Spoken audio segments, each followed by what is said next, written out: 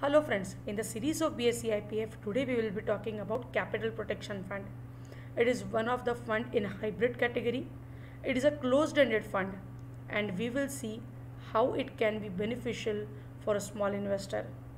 As we have mentioned, it is a hybrid fund. It has a combination of debt as well as equity. It is for those investors who are expecting protection like FD as well as returns like equity.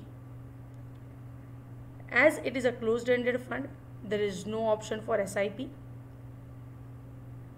As it is a closed-ended fund, one cannot invest at any time and one cannot in, uh, withdraw whenever he or she wants to take out their money. There is pre-decided tenor for the fund. Whenever the scheme is launched, investor can invest in that fund. But if the lock-in period is one year, three year, five year, investor has to stay there and then only he can withdraw the money.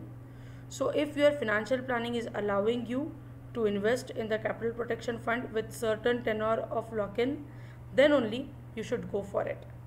Let us try to see how this fund works.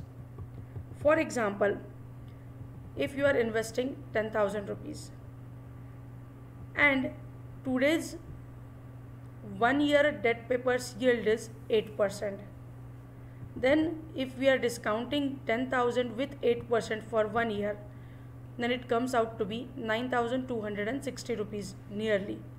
So out of this 10,000, 9,260 rupees will get invested in the debt securities with a yield of 8% for one year and the remaining 740 rupees a fund manager will invest in equity.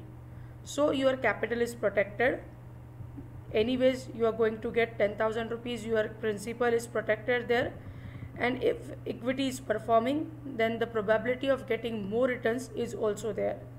So sometimes we can say but sometimes we can say that it is better than fd because taxation is uh, better in the case of capital protection fund. As there is a large composition of debt so taxation will be according to the debt category. And you have to compare the expense ratio with the rest of the funds. Today we will stay as today we will stop here. If you want to know more about some different topic then please mention in the comment section. Don't forget to write your name along with your email address. And don't forget to say thanks to BSE IPF and SEBI also. The same topic is available in Marathi and Hindi language. You can visit the YouTube channel and understand the topic. Thank you very much for liking our sessions.